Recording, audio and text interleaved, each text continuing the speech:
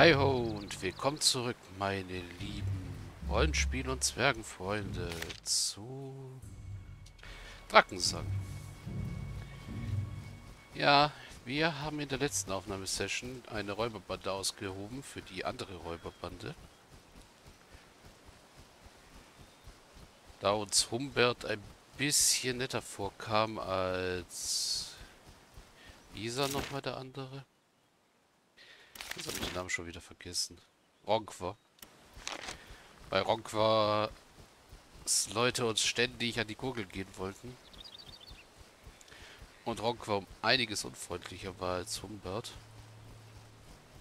Und die Leute ja scheinbar eine einigermaßen vernünftige Meinung von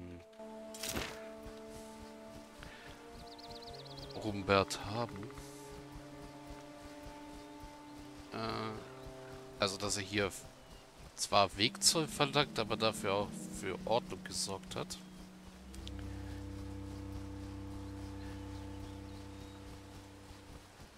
Ja, gehen wir, haben wir uns entschlossen, ihm zu helfen. So mehr oder weniger. Wir könnten jetzt natürlich auch noch immer noch ihm in den Rücken fallen und ihn töten. Aber auf seinen Kopf ist garantiert auch eine Belohnung ausgesetzt.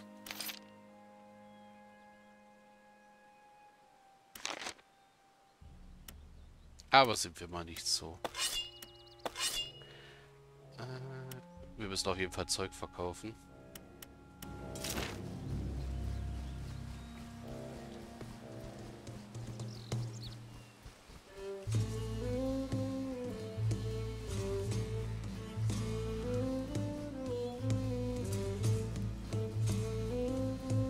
So, hallo, Bert. Ach, du bist es. Was gibt's? Äh, Roggen verguckt sich künftig die untere Seite des Waldes an. Du hast ihn abgemurkst? Wunderbar.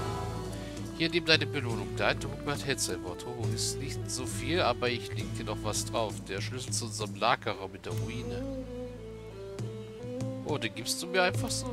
Naja, das meiste hatten wir äh, dann doch, doch noch irgendwie rausschaffen können an dem Chaos und Geschrei. Es sind zwar noch einige wertvolle Sachen dort, aber die sind es nicht wert, mir von diesem kaputten Herz und Gedärm rausreißen zu lassen. Außerdem, wenn du den Schlüssel verwenden kannst, bedeutet das ja, dass du es reingeschafft hast. Und dann können ja auch wir wieder zurückkehren. Hoho. Mhm. Folgt mir. Best bestehen können wir aber trotzdem noch. Also ja, wir haben die Aufgabe Eindringlinge abgeschlossen. Humbert hat sein Wort gehalten. Als Belohnung hat er mir einen Schlüssel seiner Schatzkammer in der Burg gegeben. Und ein paar Dukaten wahrscheinlich.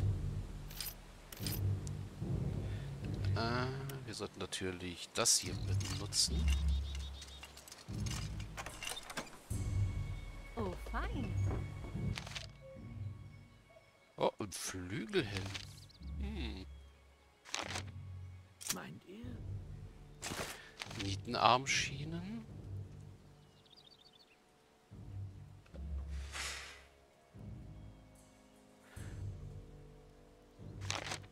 Kettenhandschuhe.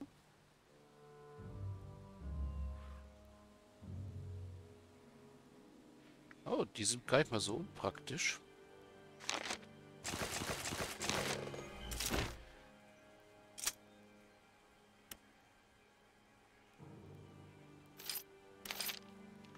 Spitzhut ist naja. Das bin ich. Okay, sie hat schon Nietenarmschienen. Alles klar. Das heißt, du kannst Lederarmschienen tragen. Gut. Wow, wir haben viele Einbeeren.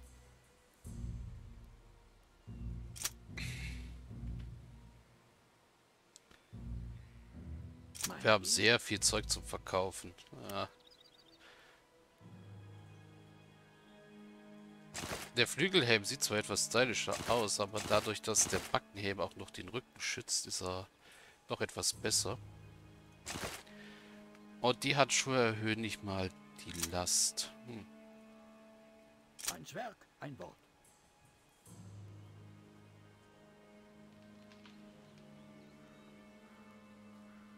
Ja, dunkle Lederhosen. Atem geht ruhig.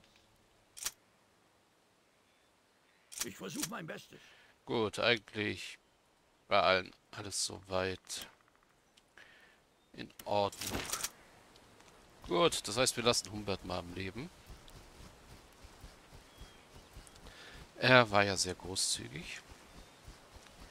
Nebenbei könnte ich bei mir feilschen. Nein, kann ich nicht steigern.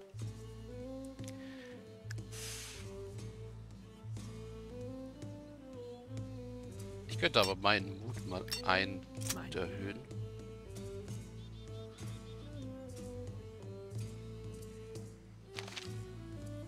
Ja, Bis jetzt hat nur sie das nächste Level erreicht, ja. alles klar. Mein Atem geht. Ihr wollte ich ausweichen, Stufe 2 beibringen, soweit ich mich erinnern kann. Äh, nee. Da wollte ich draufklicken, ja. Und sie braucht den Scharfschützen. Ja, das können wir beides bei der... Ja, da wir eh zum Mauler müssen.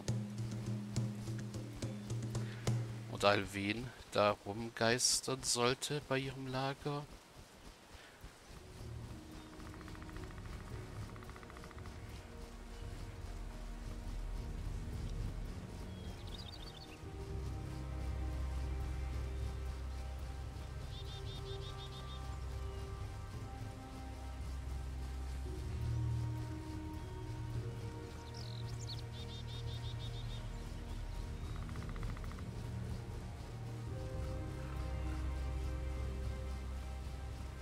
Ach, da sind doch ein paar von Rockfords Handlangern unterwegs, die wohl nicht im Lager waren. Na kommt, um die kümmern wir uns noch. Das sind ja nur vier Stück. Hä, hä, hä? Wie die es auch immer schaffen, ineinander zu stehen.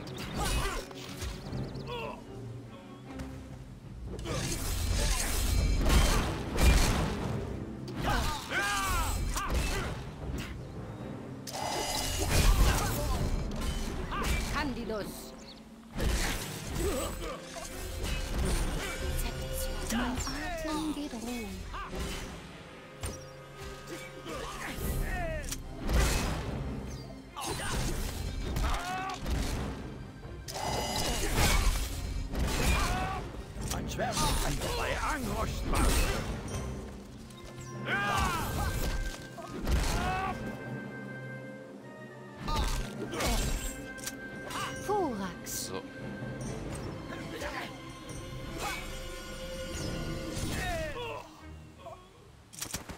Das sind nochmal Erfahrungspunkte für uns.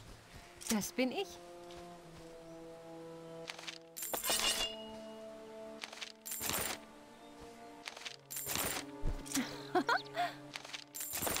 Und Geld und Zeug zum Verkaufen. Und ja, ich habe sehr viel Zeug mittlerweile zum Verkaufen. Oh, ein Wundpulver.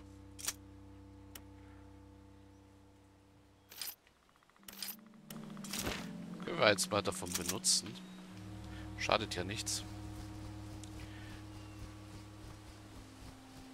Mal kurzzeitig so die Regeneration ordentlich zu boosten.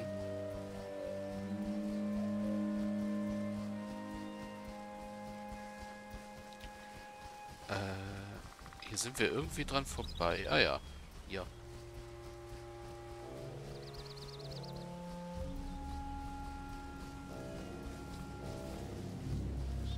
Hier können wir auch irgendwie außen rum um die Steine.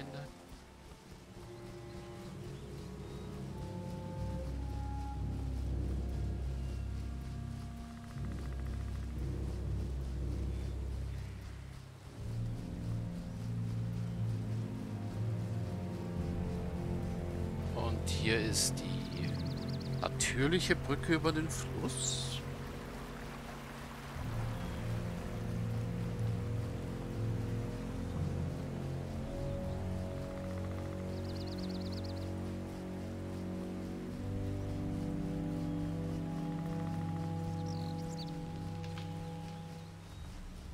Da sind noch mehr von Rockwasserlangern.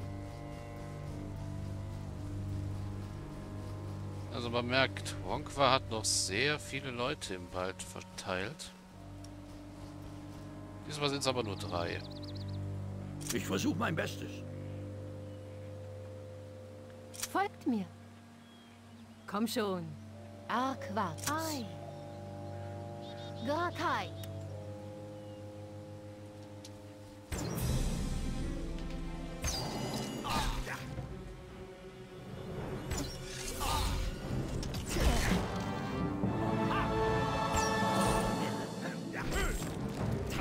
Und das hat wenigstens für Gladys für ein Level up gereicht. Wie sieht's eigentlich bei dir mit Pfeilen? Du hast bald keine Pfeile mehr.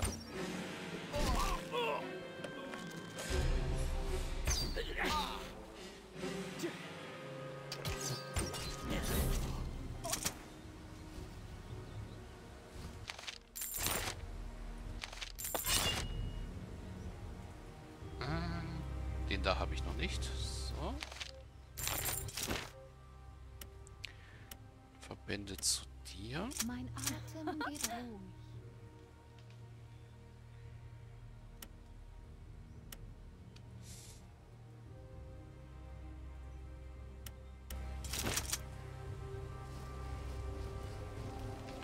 Ja.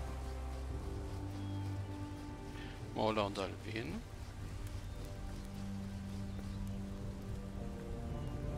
Ich will keine Tochter Satuarias mehr sein, wenn... Ach, Ja. Äh, was ich noch wissen wollte. Ja, kannst du mir was über die Jagd beibringen? Genau. Also du lernst jetzt Scharfschütze. Das hilft uns schon mal sehr.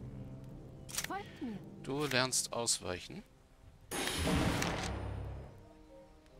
Adlerauge Luchsenohr.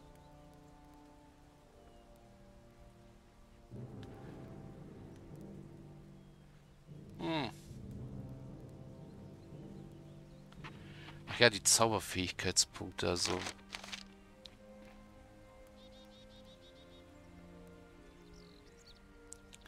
Talent Sinnesschärfe plus 1 plus Zauberfähigkeitspunkte durch 2. Mhm. Erhöht die Sinnesschärfe.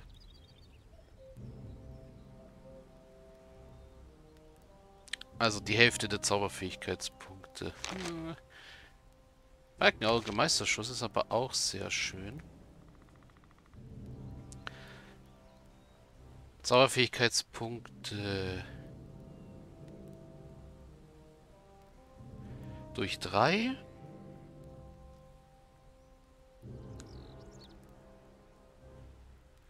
Erhöht den Fernkampfschaden auch noch um 2. Hm.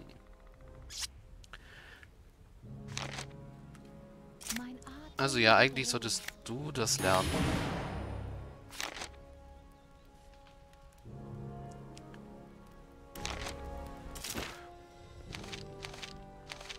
Und dann auch gleich mal steigern.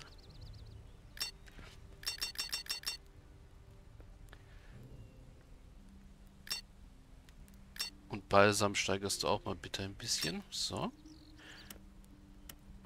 Auge Meisterschuss ersetzt dann mal die, den Sanftmut, weil so effektiv ist das da leider nicht. Mein treuer Gefährte. Dank dir. Die Rettung meines vertrauten Tiers schenkt dir auch mein Vertrauen. Nimm diesen Eulenschädel als Beweis. Die ist ja auch nicht gruselig, ey. Und? Hast du schon was rausgefunden? Du weißt schon. Ähm. Bis später, Morla. Du bist Freund von Alvis Qua.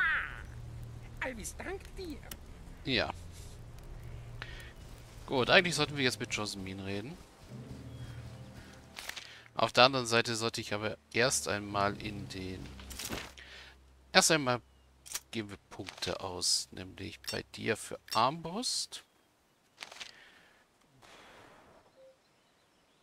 Und ruhig betören. Lass das mal Vorgrimm machen. Und Vorgrim. Äh, hab mir Punkte in Zwergnase. Dann natürlich in Hiebwaffen. Und Selbstbeherrschung, damit du uns nicht so leicht umfliegst. Hm, Oder ja. Erstmal so. Ja, ich selber. Feilschen. Ein Punkt. Warum auch immer ich den jetzt da reinpacken kann. So, die Hexen des Dunkelwaldes. Sprich mit Heidruna. Heidruna, die älteste und weiseste der He Hexe des Dunkelforsts. Sie ist wohl die einzige, die über genügend Macht verfügt, um den Wald zu durchbrechen. Ich muss zum Hexentanzplatz, denn nur dort kann ich sie herbeirufen. Hoffentlich wird sie meine Bitte erhören. Rufe Heidruna. Wie ruft man eine solch mächtige Hexe? Der Hexentanzplatz ist ohne Frage der richtige Ort dafür. Aber es muss auch eine Art Ritual geben, nur welches? Ja, das wollte ich dann Josemin fragen.